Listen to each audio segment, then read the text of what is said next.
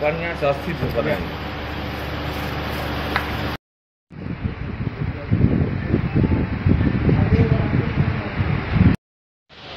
इनको जाली नोट चलाने के प्रयास में इन्हें गिरफ़्तार किया गया और इनसे जब पूछताछ किया गया तो पूछताछ के क्रम में पता चला कि इनका एक भाई काजीपुर रोड नंबर चार में विशाल कुंज अपार्टमेंट के 22 नंबर फ्लैट में रखते हैं। जहाँ से हम लोगों को लगा कि कुछ जाली नोट वगैरह बरामद हो सकते हैं।